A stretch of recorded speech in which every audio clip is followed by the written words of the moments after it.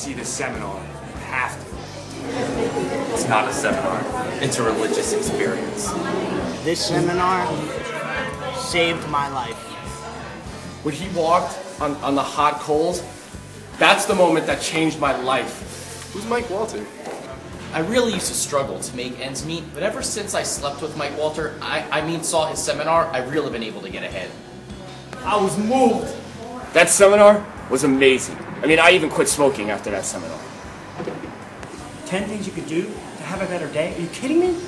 10 things you could do to save your life. Uh, I'll, I'll never be the same.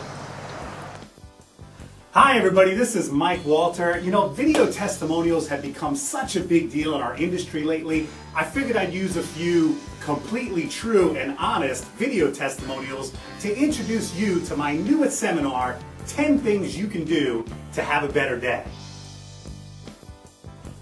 I'll be presenting this seminar at something called EPMEN. That's E P M E N. Now, I'm sure EPMEN stands for something, but to be honest with you, I really don't remember what it is.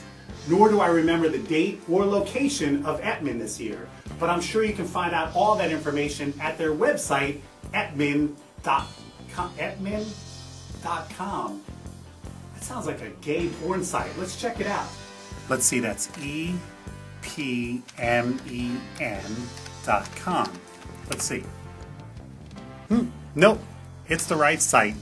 No need to delete your browser history after viewing this site. So anyway, I hope you'll join me this year at EPMEN. As you can see, there's a great lineup of speakers and I'll be presenting my new seminar, 10 Things You Can Do to Have a Better Day. Not convinced yet? Here's another completely honest and true video testimonial just for you. This seminar completely changed my life. I used to be a white guy with a crew cut and no rhythm. But look at me now. Thanks, Mike.